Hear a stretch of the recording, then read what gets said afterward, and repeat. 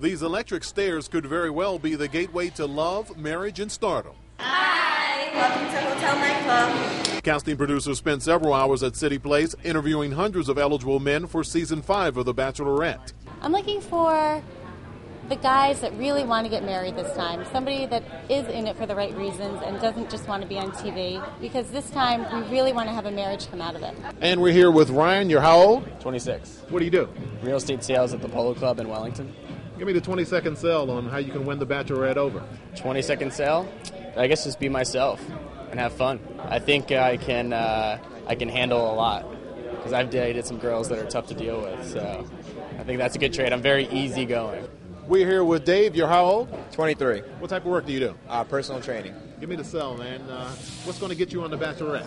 Well, I'm energetic, I'm fun, I'm good looking. I hope at least. My mom says that. I'm definitely always looking for love. You know, I mean, uh, they, someone, everybody's lying if they're not.